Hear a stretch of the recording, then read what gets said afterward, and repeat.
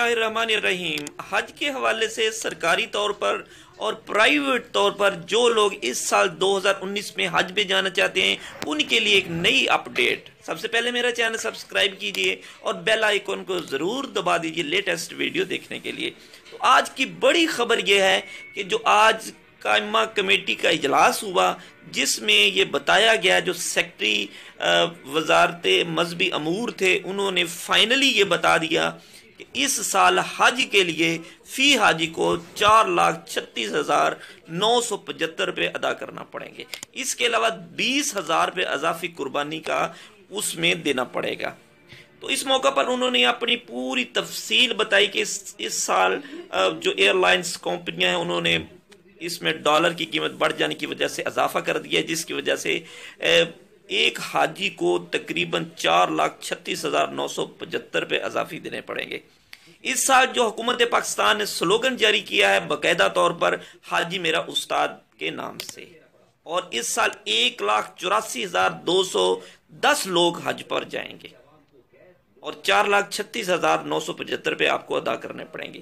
اس کے علاوہ قربانی کے لیے انیس ہزار چار سو پچاس روپے آپ کو دینا ہوگے اور آپ کو پانچ لیٹر آب زمزم لانے کی اجازت ہوگی۔ پہلی بار کراچی سے حاجی امیگریشن کے لیے کراچی ایئرپورٹ پر ہی ہوگی۔ دوسری جانب وفاقی وزیر وفاقی مذہبی امور نور الحق قادری کا یہ بھی کہنا ہے کہ اس سال حج، اس سال جو عمرہ کے لیے لوگ گئے ہیں، جو ایک سال میں یا دو سال کے اندر اگر دوبارہ آپ عمرہ کرنا چاہتے ہیں، تو اس کے دو ہزار ریال آپ کو دینا پڑتے تھے۔